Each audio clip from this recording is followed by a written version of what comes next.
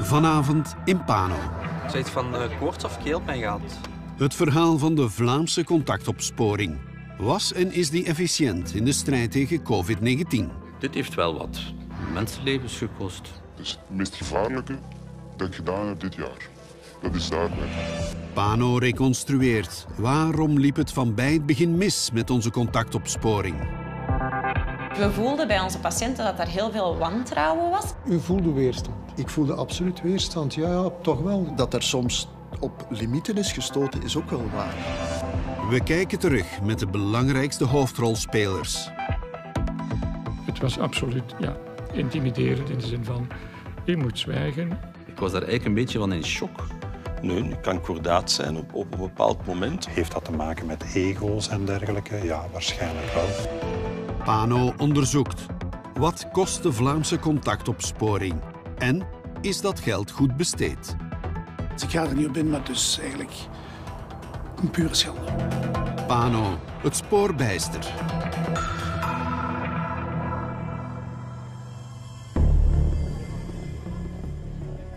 Maart vorig jaar. Het nieuwe coronavirus overspoelt Europa. Ook ons land wordt zwaar getroffen. Eind maart sterven hier elke dag 250 mensen aan COVID-19. België gaat in lockdown. Scholen, winkels en bedrijven gaan dicht. Het maatschappelijk leven valt stil. Pas na twee maanden worden de teugels voorzichtig gelost. Maar de economische en psychische schade is groot. Zo'n lockdown willen we nooit meer. En dat hoeft ook niet, zeggen experts, al is er op dat moment nog geen vaccin. Wat we moeten doen is testen en tracen. Ik denk dat we niet zullen uitgeraken zonder testen en zonder het opsporen van de contacten. Daar hebben we het daar juist al over gehad, is die testing en tracing. Dat wil zeggen dat die twee elementen bijzonder belangrijk zijn voor België om uit de hele crisis te geraken. Contact tracing, of in het Nederlands contactonderzoek, is het nieuwe toverwoord. De bedoeling is om mensen die besmet zijn met COVID snel op te sporen en te isoleren. Net als de mensen met wie ze in contact zijn gekomen. Ook die moeten in quarantaine. Zo kan je de keten van besmettingen doorbreken en moet je niet de hele bevolking opsluiten. Een nieuwe lockdown kan zo vermeden worden. In ons land hebben maar een klein aantal experts ervaring met dit soort tracing of contactonderzoek. Een van hen is Wouter Arazzola de Ognate. Hij leidt in Antwerpen de VRGT, een vereniging die tuberculose bestrijdt. Wij zijn een wetenschappelijke vereniging opgericht ergens 1907. Eh, en wij doen sinds toen al contactonderzoek rond de ziekte tuberculose. Dat is ook een infectieziekte, ook respiratoire, dus op de longen. Ook overgedragen via aerosol, via de lucht. En waar dus ook contactonderzoek moet rond gebeuren. Dus die tactiek die werkt. En we doen dat dus al jaren en nog steeds op dagelijkse basis. Ook professor Emmanuel André heeft ervaring met de bestrijding van pandemieën. Ervaring vooral opgedaan in Afrika. André is lid van de GEES, de expertengroep die de regering adviseert. Et on était en Belgique à ce moment-là avec un système en termes de tracing qui était totalement hors de proportion, qui était beaucoup trop faible par rapport aux, besoins. Et donc, euh, on, s'est rendu compte, en répétant ces demandes, que rien ne se passait. J'ai pris l'initiative de sortir de mon rôle de, conseiller pour être, jouer un rôle de catalyseur pour le démarrage de cette phase. Emmanuel André wil de kaart trekken, maar stelt vast dat er grote spanningen zijn tussen de federale en de Vlaamse regering. Ça a été quand le niveau fédéral a proposé que dans les maisons de repos, que ces personnes euh, puissent recevoir la visite d'une autre personne. À ce moment-là, il y a eu une levée de bouclier de la part des, des communautés, des régions, pour dire euh, non, ça c'est notre prérogative. Tout ce qui est maison de repos, c'est chez nous. Et donc, on a vu euh, à ce moment-là se déchirer quelque part la solidarité de crise. Et donc, oui, euh, il y a eu du retard, il y a eu des hésitations euh, dans la mise en place du tracing en raison des tensions entre les différents niveaux de pouvoir.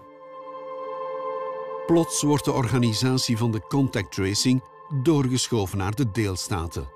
Onverwacht. Geef geen kussen, hou een beetje afstand. Wouter Beke, nog volop bezig met de coronacrisis in de woonzorgcentra, moet de klus klaren. Heeft men dan de hete aardappel een beetje doorgeschoven? Ja, zo is het toch wel door de deelstaten uh, aangevoeld uh, geworden. Uh, als men eerst zegt, wij gaan dat coördineren, want het is een pandemie, om dan nadien te zeggen, doe, het, doe het nu maar zelf. En het moet snel gaan. Wouter Arazzola de Oniati krijgt de vraag om een handleiding te schrijven.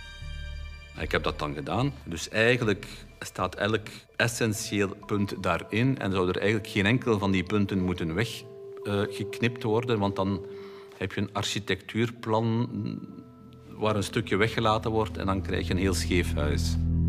De visienota is er, maar voor de rest is er niks. Wouter Beke beslist dan om snel een heel nieuw apparaat uit de grond te stampen. Hij roept de hulp in van callcenters, privébedrijven die vooral ervaring hebben als commerciële klantendienst. De werknemers van zo'n callcenter, de call agents, moeten met COVID-besmette personen opbellen en vragen met wie zij contact hebben gehad. De callcenters krijgen hulp van de ziekenfondsen. Als besmette personen niet per telefoon bereikt kunnen worden, gaan zij mensen op pad sturen. Dat worden de zogenaamde field agents.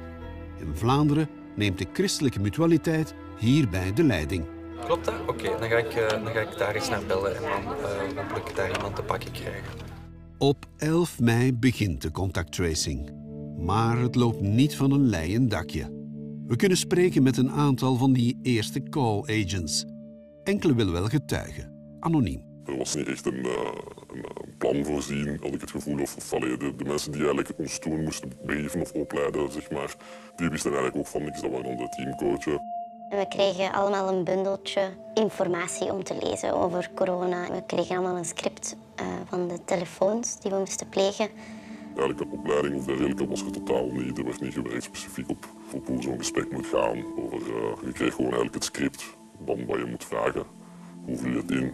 Je merkte wel dat, dat daar dan de training bij velen miste. Die effectief gewoon het script aflazen. Maar als ik al die telefoon zou krijgen, dan zou ik mij ook niet op mijn gemak voelen en dingen delen. Als je merkt dat iemand bijna als een robot achter de telefoon zit. Er was nauwelijks werk. Ook na de opstart bleef het wekenlang zeer rustig. Moet je gewoon naar het bureau komen. Dan werd er tegen een aantal mensen gezegd van jullie mogen vandaag bellen. Gaan jullie uh, online on queue en de rest, uh, ja, hou je bezig. Uh, lees nog eens die powerpoints na. Dergelijke, uh... En wat deden jullie dan? Um, ons in stilte bezighouden. Lezen, babbelen. Ik heb wel leuke mensen ontmoet. De werkvoering groepen verdelen en elke groep moet een paar quizvragen maken en dan een quiz spelen. Er kwamen veel nieuwszenders over de vloer. Uh, in verschillende uh, centers. En dat moesten wij altijd doen alsof we druk aan het werk waren. Als hadden die periode moeten aanwenden om echt een doorgedreven opleiding te doen, om echt hard in te zetten op de kwaliteit van de mensen die bellen. En de mensen die de bellers moeten begeleiden, de teamcoachen. En dat wordt absoluut niet gedaan. Dus in die zin vind ik dat echt een gemiste periode, gemiste kans. Het informatica-platform is ontworpen door Smalls, de vaste informatica-leverancier van de overheid. Plots was daar Smalls, die mocht dat systeem bouwen. Ik dacht, Smalls, hebben die al ooit uh, een pandemie bestreden? Hm, ik denk het niet. En inderdaad, uh, de, de, de figuur van Frank Robben speelt daar een hele centrale rol in. Ik denk dat het nodig is dat mensen die IT-systemen bouwen goed proberen te begrijpen wat dat de inhoudelijke behoeften zijn. Maar het omgekeerde is ook waar.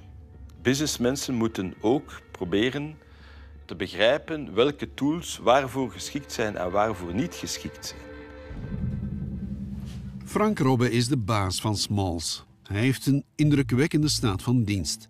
Hij is de man die ooit de kruispuntbank Sociale Zekerheid heeft gebouwd of het e-health systeem. Kolossale databanken met miljoenen persoonlijke gegevens. Hij heeft dus ervaring maar het informatica-systeem voor de contact tracing blijkt last te hebben van kinderziektes. Zo kan een besmette persoon bijvoorbeeld niet zelf terugbellen als hij achteraf nog info of vragen heeft. Of kan een besmette persoon maar maximum 10 contacten opgeven. Ik kon maar in het begin maar 10 contacten opschrijven, effectief noteren in het systeem. Ehm, maar mensen konden op een bepaald moment zelfs meer contacten hebben dan 10 en kon je die gewoon niet noteren. Dus op een bepaald moment kregen we het bericht dat je maar tot 10 contacten kon inbrengen in het systeem. We zeiden van hoe is dit nu mogelijk? Niel Hens is biostatisticus en professor aan de Universiteit Hasselt. Hij is een internationaal erkend expert en zit in de Vlaamse stuurgroep Contact Tracing. Zijn specialiteit is de verzamelde gegevens analyseren om er beleidsadvies uit te distilleren. Het doel om fijnmazige gegevens zoals deze te hebben is vooral om heel gericht actie te kunnen ondernemen om echt te identificeren waar zitten die besmettingshaarden nu. En dan kan je als overheid gaan ingrijpen. Denk terug aan de lockdown in maart, april. Als we die exit-strategie gedefinieerd hebben, dan zou het heel handig geweest zijn om te weten welk van die sectoren is nu eigenlijk zeer gevoelig aan besmettingen. Maar de callcenters verzamelen veel te weinig gegevens, zeggen zowel Hens als Arazzola. Dat komt zo. Wanneer een call-agent een besmette persoon opbelt en zijn nauwe contacten vraagt, noteert hij die in het script en gaan al die gegevens weer in de databank. Daarna worden de nauwe contacten verdeeld tussen andere call-agents, die op hun beurt die mensen allemaal apart gaan opbellen. Op die manier raakt de informatie helemaal versnipperd. Het inzicht in de keten gaat verloren. Wat heel belangrijk is, is eigenlijk dat je niet stopt met de bevraging van aan een besmet persoon wie zijn jouw contacten. Nee, je wilt eigenlijk wat men noemt een epidemische boom opstellen. Wie besmet wie? En je wilt eigenlijk traceren hoe dat die besmetting in die maatschappij helemaal doorgestuurd wordt, zal ik maar zeggen. Ik zal het zo uitleggen dat je eigenlijk ieder gemeld geval en al zijn contacten aan elkaar moet kunnen linken, heel gemakkelijk. Door codes, door dezelfde codes te gebruiken. Dat is basisepidemiologie. Oh ja, ja, ja. Het is een beetje de ronde dan aan het doen. En dat is niet gebeurd bij ons? Dat is na herhaaldelijk aandringen niet gebeurd. Oei. Ja. Die koppeling tussen die personen, ja, die was niet voorzien. Hoe kan het dat het informatica-systeem zo'n koppeling niet voorziet? De mensen die de ICT-systemen moesten bouwen om ons te ondersteunen en de databeheerders bij Cienzano, die kregen ineens om een of andere reden heel veel beslissingsmacht toebedeeld, of namen die gewoon. En de experts, de echte mensen die het kunnen, die de expertise hebben en die het al ooit gedaan hebben, hadden plots redelijk weinig nog te zeggen. Dus een hele vreemde ontwikkeling. Ik was daar eigenlijk een beetje van in shock. Er gebeurt ook geen brononderzoek. Bij zo'n brononderzoek probeert men te achterhalen of verschillende besmette personen misschien op één gemeenschappelijke plaats besmet zijn geraakt. Bijvoorbeeld bij familie. Dan kunnen we echt meer gericht gaan zoeken naar waar zit die bron. En dan kunnen we die bron gaan aanpakken. Als je weet dat je op een familiefeest bent geweest met een x-aantal personen en je weet dat in die contactdata dat heel vaak voorkomt, dan kan je er rechtuit gaan leren. Pas in september, na vier maanden dus, zal men beginnen met een oppervlakkig brononderzoek. Een ander belangrijk principe is dat één en dezelfde persoon een volledig COVID-geval onderzoekt, de zogenaamde case manager. Het case management principe is dat iedere melding die binnenkomt van een nieuw COVID-geval in deze zaak, dezelfde persoon zal die indexcase opbellen, zal daar de contacten bevragen, maar ook de bronnen daarbij. En het is dus diezelfde persoon die die andere contacten ook gaat bevragen. Omdat je zo veel sneller inzicht krijgt in clusters, in mogelijke gemeenschappelijke events, mogelijk gemeenschappelijke locaties waar al die mensen geweest zijn. Maar dat gebeurt allemaal niet. Wat de experts vragen mag niet, krijgen ze te horen. Het zou een inbreuk op de privacy zijn. Dan zijn we eigenlijk op een muur gestoten van ja, dit kan je niet vragen, dat mag niet volgens privacy- en GDPR-wetgeving en dergelijke. Je hebt een evenwicht te zoeken tussen gezondheid enerzijds, gegevensbescherming anderzijds. Wij wouden niet En niemand wou dat, dat duizend contactcenter agents allemaal zouden kunnen gaan snuisteren in wie is besmet en wie is niet besmet. Dat begrijpt u. Dat mocht zogezegd niet volgens de GDPR, maar dat mag wel van de GDPR. Want als dat mag in Nederland en dat mag in Duitsland, dan mag dat met 100% zekerheid ook in België. Frank Robbe zegt dat hij de opdracht die hij kreeg gewoon heeft uitgevoerd. Maar volgens de experts was er wel erg weinig ruimte voor discussie. J'ai vu un certain nombre de, de réunions où certaines personnes n'étaient plus invitées euh, par les personnes qui lançaient l'invitation comme euh, euh, un effet de réprimande. Des personnes qui s'étaient opposées ou qui avaient donné un avis divergent, le lendemain, n'étaient plus invitées. On a vu des personnes exclues par des jeux d'influence qui étaient exercés clairement par euh, la SMALS et ou par euh, Cienzano. Heeft dat te maken met en dergelijke? Ja, waarschijnlijk. Dat ging zelfs tot ruzie, ruzie aan toe, tot schreeuwen en roepen. Men heeft mij uh, uitgescholden voor het een en het ander en gedreigd met werkgevers te, te, te contacteren, et cetera. Als ik, niet meer, als ik maar uh, ophield om zo kritisch te zijn. Als ik op een bepaald moment iets moet opleveren op twee weken en een half tijd, dat je dan ja, op een bepaald moment beslissingen moet hebben. Die moeten uitgevoerd worden, dat lijkt logisch. Hè? Maar, en dan uh, wordt u wel eens boos? Nee, ik kan kordaat zijn op, op een bepaald moment. En ik zal, uh, wanneer het nodig is, zorgen dat er beslissingen zijn waar we kunnen opbouwen om het systeem goed te maken. Zo'n pandemie is een interdisciplinair gegeven. En als je zelf die expertise niet hebt, dan moet je ze gaan halen. Dit heeft denk ik te maken met het begrijpen van wat je aan het opstellen bent. En daar moet je in overleg gaan met de experten die, die ervaring hebben met deze zaken. De frustratie is groot. De frustratie is er absoluut, ja. Vandaar dat ik uh, eigenlijk gechoqueerd was en nog steeds ben wel een beetje. Dit heeft wel wat mensenlevens gekost. Uh, uh, dat zou ik zeer spijtig vinden dat dat het geval zou zijn. Komt het door de keuze voor commerciële callcenters? Of komt het door de ruzie tussen experts?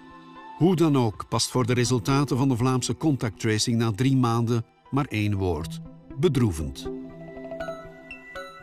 Als ik kijk naar de cijfers van de Vlaamse gemeenschap, die ik via het agentschap heb gekregen, ongeveer een 60% van de indexgevallen die worden dat volledig gecontacteerd. Personen, ja. hè, dus we laten 40% eigenlijk onaangeroerd. Dat is spijtig. En van die 60% gaat ongeveer iets meer dan de helft effectief ook contacten doorgeven. Dus dat betekent dat in een hele epidemie men maar een deel in kaart brengt. Of bij bijna 70% van de besmette personen weten we dus helemaal niks over hun nauwe contacten. Een bijzonder magere oogst. En dat heeft directe gevolgen. Als je zulke data niet hebt, dan ga je beleid moeten gaan stoelen op gegevens uit het buitenland. Of uh, op inzichten die toch minder fijnmazig zijn. Eind juli. Het aantal besmettingen in Antwerpen gaat opnieuw de hoogte in. De Antwerpse gouverneur Cathy Berg ziet maar één oplossing. Algemene verstrengingen voor heel de provincie. Met een sluitingsuur voor de horeca en een avondklok. Een maatregel die aan de oorlog doet terugdenken. Dat wil zeggen dat iedereen tussen 23 uur 30 en 6 uur s ochtends thuis moet zijn, behalve voor de noodzakelijke verplaatsingen.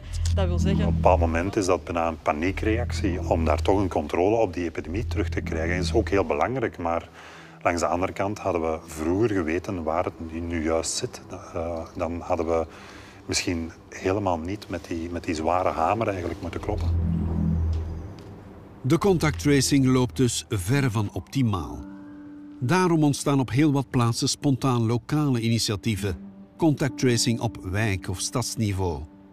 En daar worden vaak wel heel goede resultaten mee geboekt. Een voorbeeld is de praktijk van geneeskunde voor het volk in Hoboken.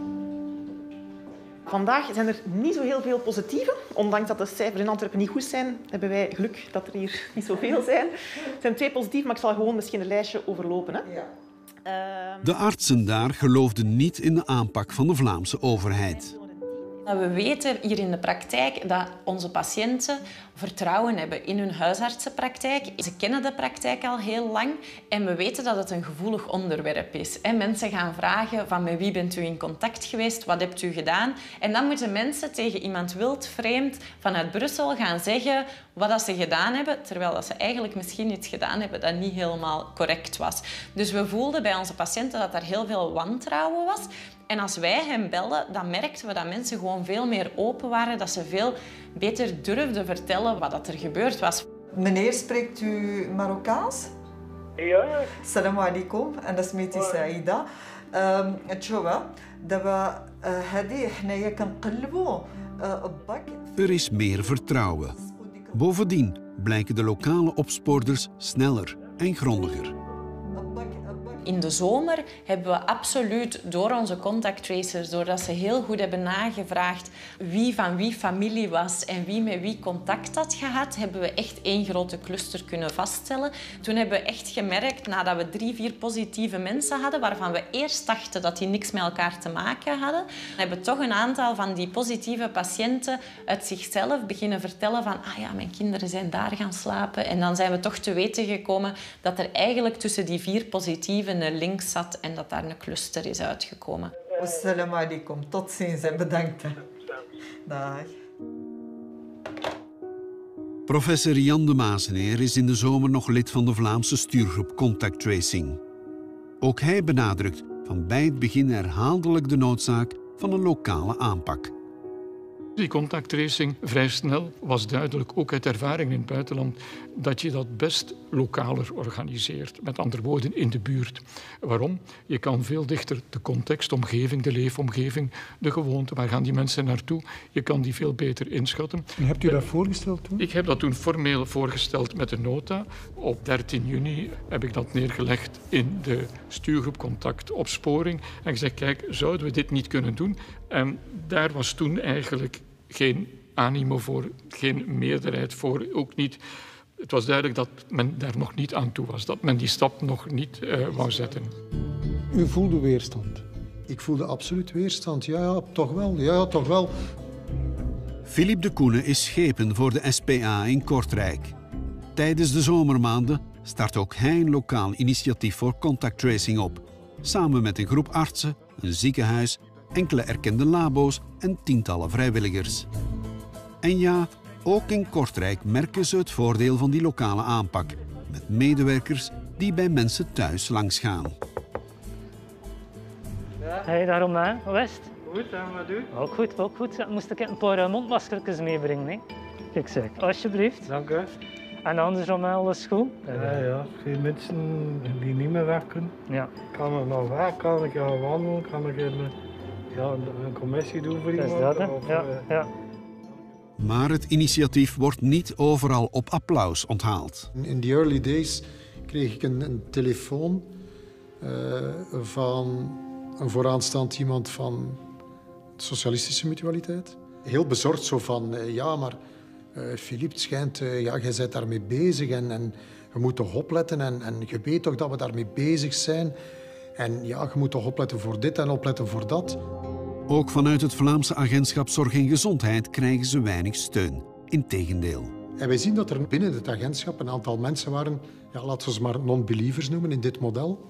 En wij probeerden te overtuigen... Die op de rem gingen staan. Die op de rem gingen staan. Dat dat zo beschreven werd als... Er gaan daar een paar avonturiers ook een keer zo... Zoals ze vroeger een beetje vrije radio speelden. Hè, zo, een beetje radiootje spelen zo. De talrijke lokale initiatieven krijgen weinig of geen toegang tot de centrale databanken. Samenwerken wordt dus heel moeilijk. Jan de Mazeneer uit zijn ongenoegen over die gang van zaken in een interview in het weekblad Knak.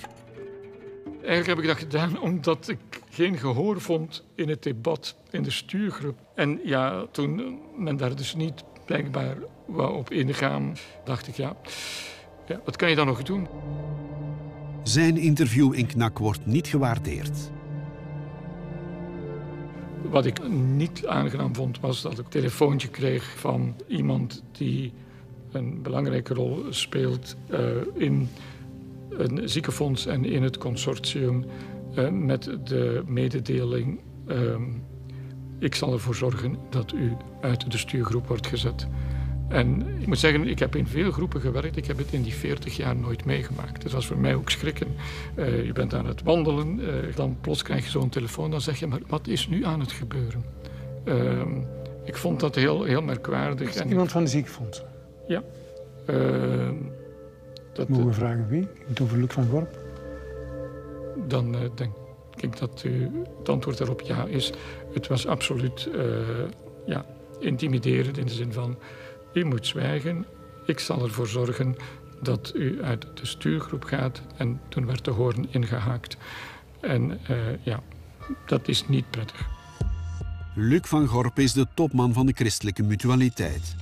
Hij was niet gekant tegen lokale initiatieven, zegt hij nu, maar eerst moest wel het centrale systeem werken. Als je louter decentraal het contacttracing zou opzetten, in bijvoorbeeld in Vlaanderen 300 gemeenten, dan zou je 300 systemen moeten hebben die dan met elkaar zouden moeten kunnen spreken, wat volgens ons op dat moment een onmogelijke zaak was. Luc van Gorp wou de discussie hierover binnen de stuurgroep houden. Het is van daaruit dat ik inderdaad contact heb gezocht met, met, met Jan de Maas om te zeggen van Jan, ik vind dat deloyaal naar de groep toe. We hebben duidelijke afspraken gemaakt. We hebben ook aangegeven dat contacttracing werkt. En dan heb ik inderdaad duidelijk gemaakt, op die manier eh, ga ik mijn tijd, op het moment dat we in een volle crisis zitten, niet spenderen in een stuurgroep, waar dat uiteindelijk geen rekening gehouden wordt met de zaken die we daar bespreken. Jan de Mazeneer wordt wat later ook echt uit de stuurgroep verwijderd. Maar Luc van Gorp ontkent dat dit door zijn toedoen was. Het resultaat is wel dat Jan niet meer in die stuurgroep zit, maar dat is absoluut niet op aansturen van mezelf. U moet weten, op mijn leeftijd hou ik niet meer aan stoelen vast. Ik ben niet iemand die op een stoel zit en zegt en ik ga hier nu blijven zitten. Wat voor mij belangrijk is, is dat zaken goed gaan en vooruit gaan. Als het over contact tracing gaat, staan de zenuwen duidelijk erg gespannen. Ik vermoed dat dat te maken heeft met het feit dat men een consortium aan het werk heeft gesteld. Dat men zich nationaal had georganiseerd en dat daar toch ernstige bedragen tegenover stonden. Was er geld te verdienen met het testen en het tracen? In augustus raakte bekend dat het echtpaar Gino de Raad en Federica Verheijden zichzelf miljardair mag noemen. De Raad en Verheijden waren tot voor kort eigenaar van een tiental medische labo's, waar miljoenen coronatests zijn uitgevoerd met een zeer mooie winstmarge. De coronacrisis heeft hen geen windeieren gelegd. Het is paradoxaal dat men door correct het systeem van de gemeenschapsmiddelen te gebruiken, dat men ja, dit soort bedragen kan verzamelen. Dat geeft stof tot nadenken. Ook bij de eigenaars van de callcenters vinden we enkele bekende ondernemers. Ondernemers actief in de voetbalwereld en de bouwsector bijvoorbeeld. Ook het contract dat de callcenters hebben afgesloten lijkt financieel zeer interessant. Dat blijkt uit een dossier dat midden mei wordt ingediend bij de Raad van State en waar Pano de hand op kon leggen. Het is een verzoek tot schorsing van het contract voor de callcenters. Een verzoek ingediend door een ander callcenter, Harvest Communications. Topman hiervan is Erik Injoel uit Hasselt. Hij wil onze rapporter ontvangen maar praten over de details van het dossier, nee, dat wil hij niet. Ik ga niet in op eh, de details van de dossiers. Ik denk dat dat totaal geen toegevoegde waarde heeft.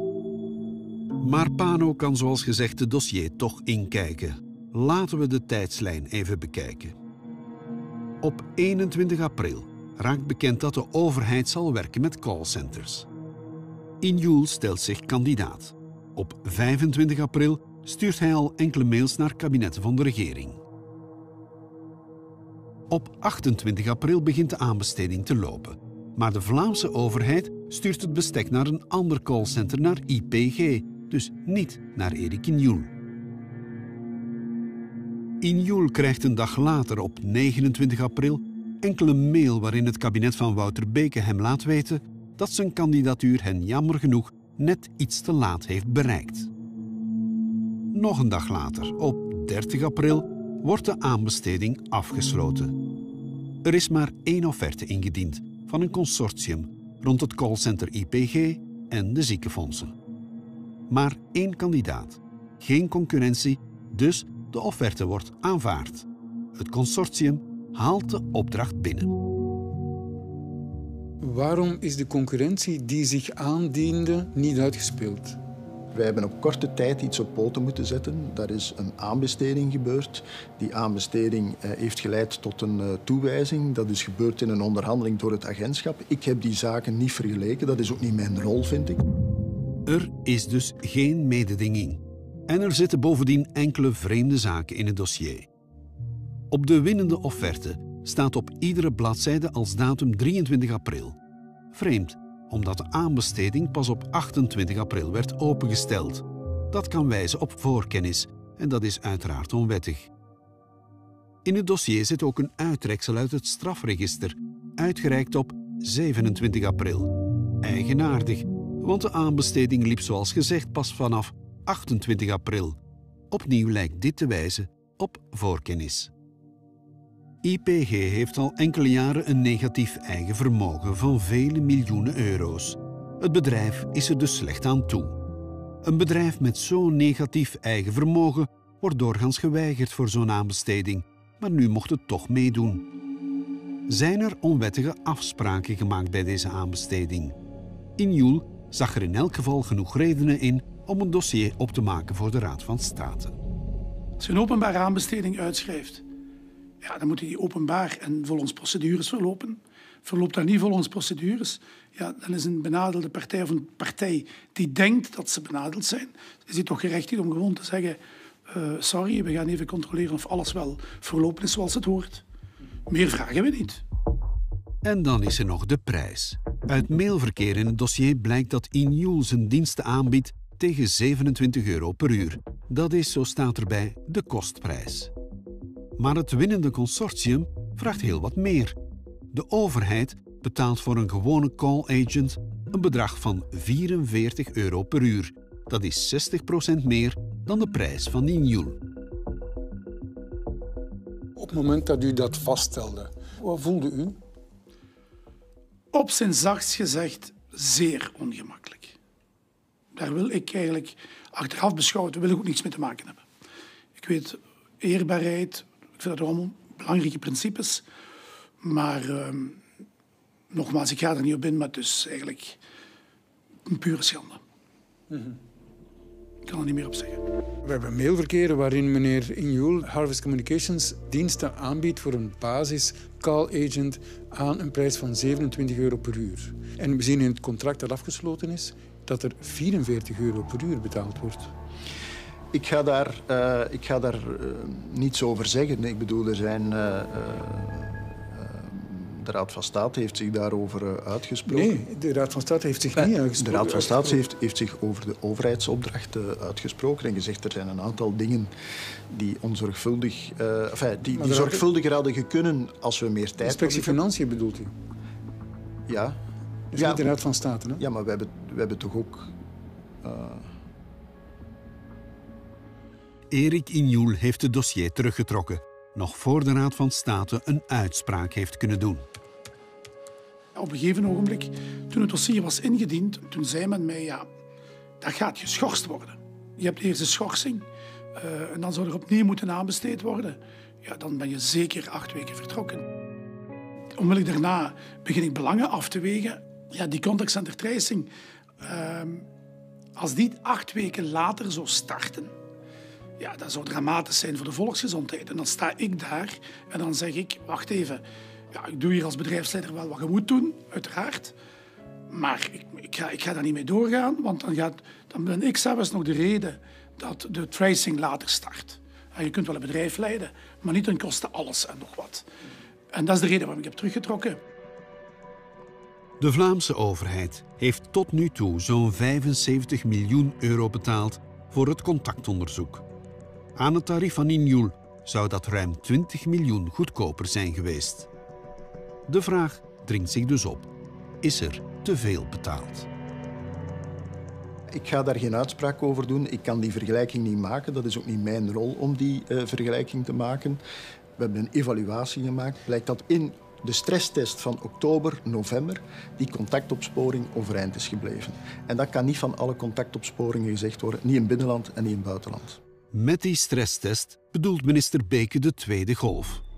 Die begint wanneer in september scholen en universiteiten heropenen en de regering Wilmes een aantal bijkomende versoepelingen toelaat. Het is heel belangrijk om u eraan te herinneren dat we in ons dagelijkse leven iedereen mogen zien die we willen zien, op voorwaarde dat. Maar ondanks die voorwaarden is er een dramatisch effect. In oktober kent ons land een explosie van het virus. Een tweede golf slaat ongenadig toe. Ce que j'ai vu ici, je trouve ça très choquant. Oui, c'est dur. C'est dur. De Vlaamse contact tracing schakelt opnieuw een versnelling hoger. Er worden vele honderden mensen extra aangeworven. Maar het loopt, zes maanden na de opstart, nog altijd niet zoals het zou moeten. Ruimte waar we moesten bellen, die teamleader die gaf zelf aan van ik weet het, het is hier eigenlijk niet veilig. De schermen zijn niet hoog genoeg. Eigenlijk zou het bedrijf zeg maar, waarvoor we werken daar moeten in investeren. Maar ja, het is hier een voorlopige locatie, daar gaan ze niet in investeren. En ik heb dan nog gezegd tegen mijn vrouw, het is het meest gevaarlijke dat ik gedaan heb dit jaar. Dat is daar werken. Ook de opleiding stelt nog altijd weinig voor. Het begon, zeg maar, en ze gaven aan van ja, normaal gezien zijn er vier dagen opleiding, uh, maar nu zijn er maar twee. En uh, de cursus empathie, die wordt uh, op een later moment gegeven. De vijfde dag kwam een nieuwe batch van mensen binnen die mochten komen meeluisteren met ons. Wij mochten die al gaan opleiden. We waren zelf nog maar pas begonnen. we moesten al nieuwe mensen gaan opleiden. Ja. Diezelfde dag valt het informatica-systeem plat. Een week na de lockdown crasht dat systeem. En dan gaven ze ook zelf aan daar van ja, nu is niemand in België nog aan het bellen. Niemand in België is nu nog aan het contact tracen. De curve stijgt heel snel, maar daalt even later ook weer snel. De call agents zitten al gauw weer bijna zonder werk. Begin november stopte het ineens. Uh, je, je meldde jezelf aan s ochtends en je kreeg één à twee dossiers door. Maar dan was het heel lang wachten totdat je een nieuw dossier doorkreeg. Op de dag dat je misschien drie uur en een half à vier uur in het beste geval ermee bezig maakt. Al de rest was eigenlijk daar zitten kijken op je scherm en wachten voor een telefoon. De overheid betaalt al die wachturen en dat zal nog even blijven duren. Het contract tussen de overheid en het consortium is midden oktober geruisloos verlengd tot mei 2021 aan dezelfde voorwaarden. Er is geen aanbesteding gebeurd voor deze verlenging. Wij hebben een evaluatie gemaakt in de Vlaamse regering. En het resultaat van die evaluatie is geweest dat we dat zouden verder zetten. Dat is allemaal gebeurd in consensus. Het was ook niet het moment om te zeggen op het ogenblik dat je uh, daar aan een brand aan het blussen bent, ja, zouden we eens niet gaan kijken of dat we misschien andere pompiers nodig hebben. Ondertussen verloopt de contacttracing wel goed, zegt de overheid. Op dit moment zijn om en bij de 900 mensen aan de slag. Die zouden 95% van de besmette personen bereiken. En een aantal lokale initiatieven zijn nu toch mee ingeschakeld.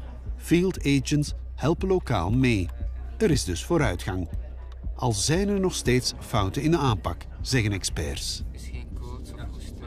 Er worden heel veel telefoons gedaan en er worden heel veel mensen bereikt. En dat meet men.